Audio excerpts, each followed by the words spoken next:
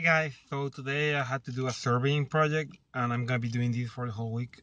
I don't like surveying at all, it's a lot of labor, shoveling and like excavating and stuff like that. But I mean, I do like it from time to time, especially when it's not all the time, like once a month, I don't mind, or once every year.